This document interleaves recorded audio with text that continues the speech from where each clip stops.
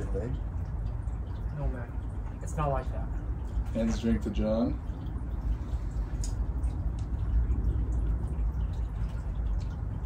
But you're a wounded soldier. He needs a caring nurse. Stop that, dude.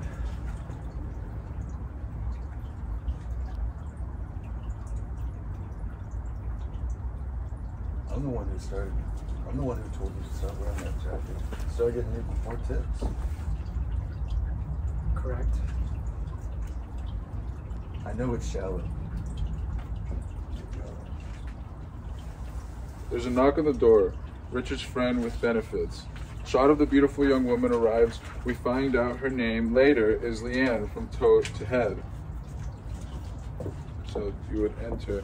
In ponytail, she is wearing loose fitting shorts like Daisy Dukes, tank top with no bra, showing nipples, and dark, Doc Martens. She does not wear much makeup other than eyeliner. She paints her nails. She carries her big purse with all her things.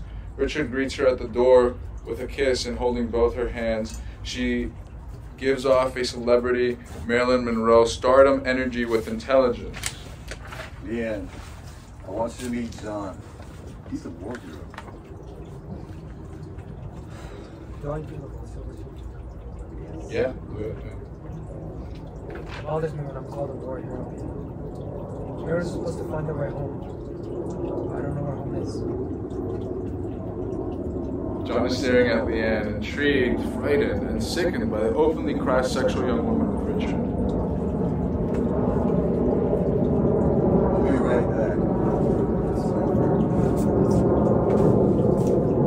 Guides Leann with his hand sliding down her lower back, down to her ass. John. John is watching them go to the room and door shut. Shot of the door closing with lamp in the background representing separation between him and the intimacy. He thinks to himself, why do the assholes get the beautiful young chicks? John takes a big swig. John is doing a line of cocaine on the table. Leann returns from the bedroom, skipping with a bag of cocaine, and sits next to John. She has her hair in a ponytail. You can see her pale face that is recently washed and that shows signs of poor sleep. Leann starts doing cocaine with a spoon. Increasing Leann. So you're a veteran? I feel like I listen to people.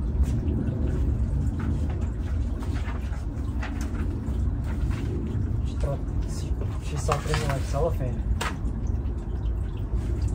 John is stunned, shocked by one. No one has ever talked to him this way in nine months. He's back from serving.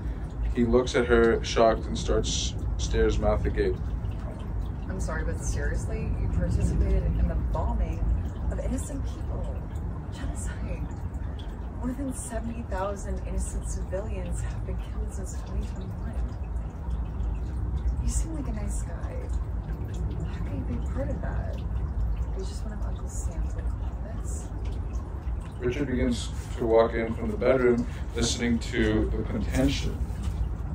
You would have to lobotomize me. You agree with this shit? It wasn't a war worth fighting. We caused more damage than good. We lost. Now they have to deal with the Taliban. All those years devoted all those years devoted that amounted to nothing. I have no feeling.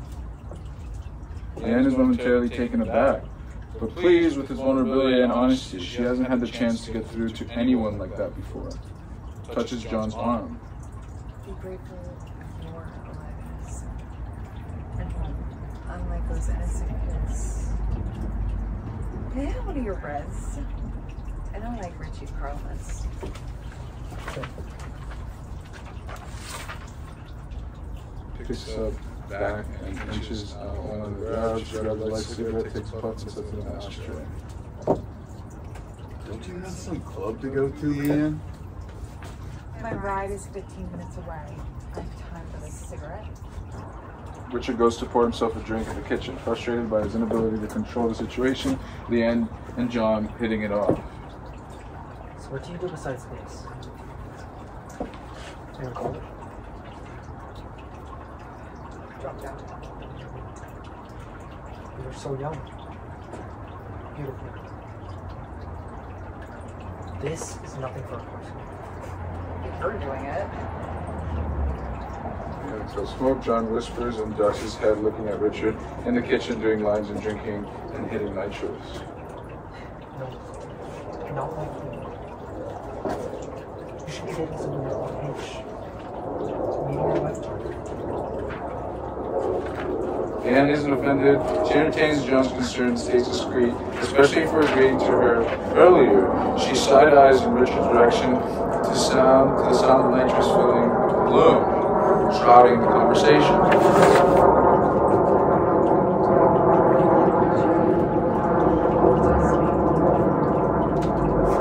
My age are getting noise.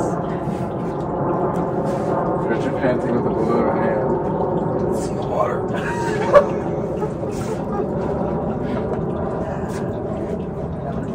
You should be protected from guys like you. Leann undoes her hair from the ponytail, her last defense from hiding her age. She looks 17. All right, all right. Get out of here.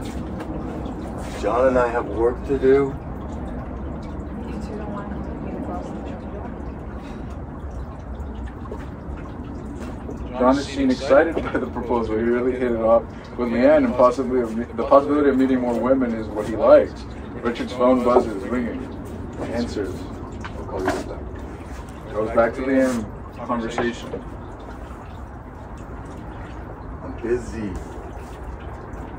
Oh, You're not continuing. I'm busy. Leann is looking at Richard all frowny and pouty-like, like a spoiled teenage girl extracting money from her father. Richard hands Leann more cocaine.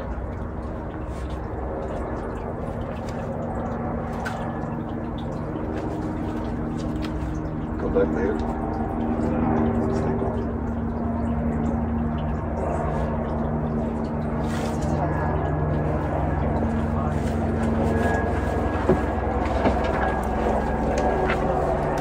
All right, let's stop right there. That was excellent. Um!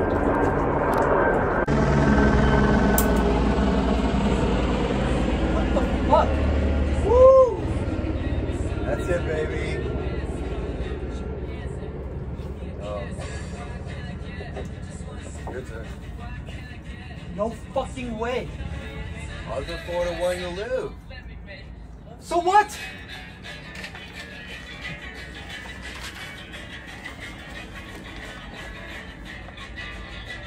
That's the rush. Small chance you could disappear. Come on, man. Play with me. Oh, dude.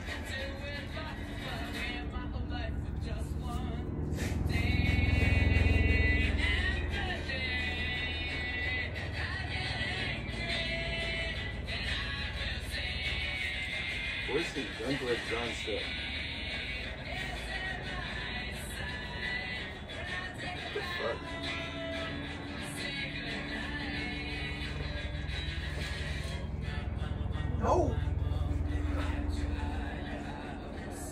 Please.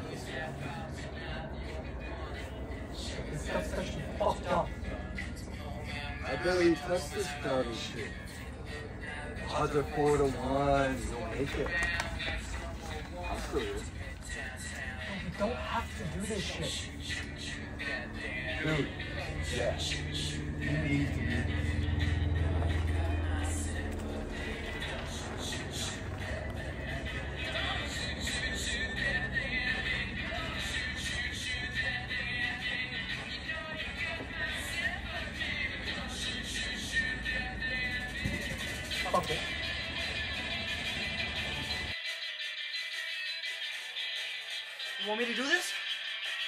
You want me to fucking pull the trigger?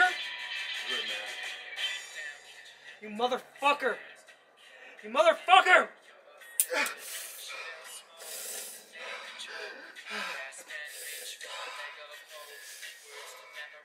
You did it. You did it, buddy.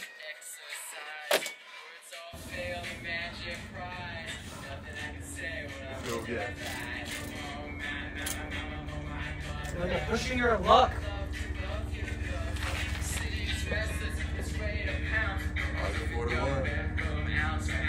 Stubs. And uh, John's reacting hysterical sadness, witnessing the loss of his only friend.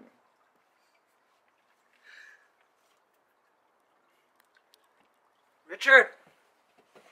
Richard! Richard, no. Dumb fuck!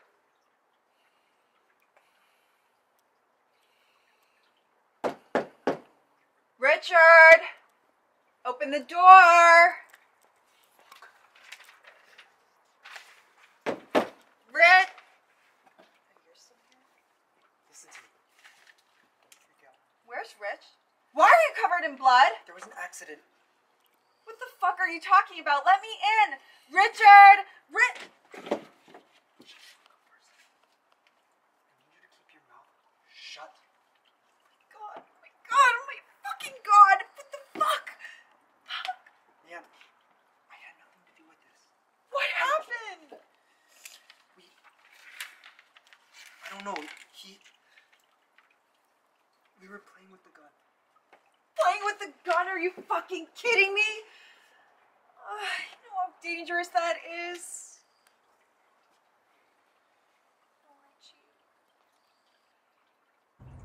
I? Didn't think the gun would go off. It's not your fault.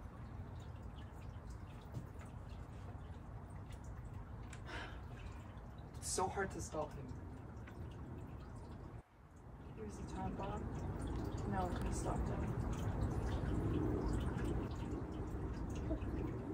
We can't just stay here. Someone must have called the police by now. I'll drive you home. We need to get away from all this. This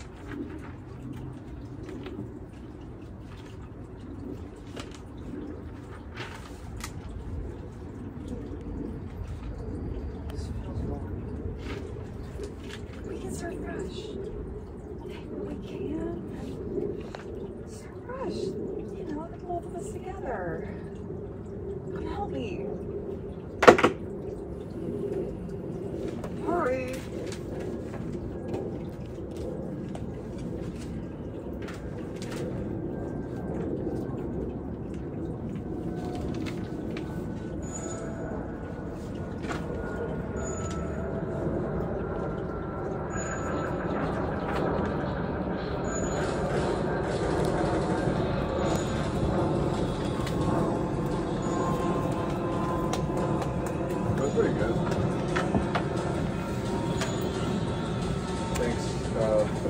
Thanks uh, for being on the floor.